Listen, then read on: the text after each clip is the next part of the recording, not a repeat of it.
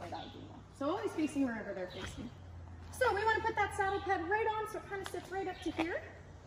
And with this one, you always want to make sure that these straps are at the front, or if they don't have the straps, this thing's at the front. And basically, we just put our girth, so the thing that goes around the belly through there, so our saddle doesn't slide back or the saddle pad doesn't shift underneath the saddle.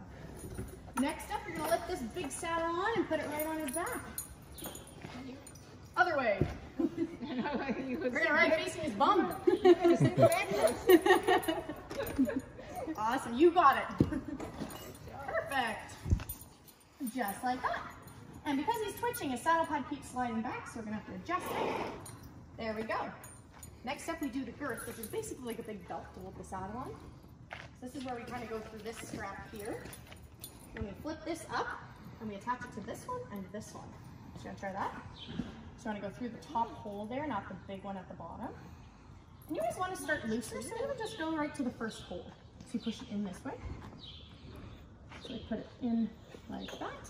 And then we pull it up and you can stick the little pin in that first hole there.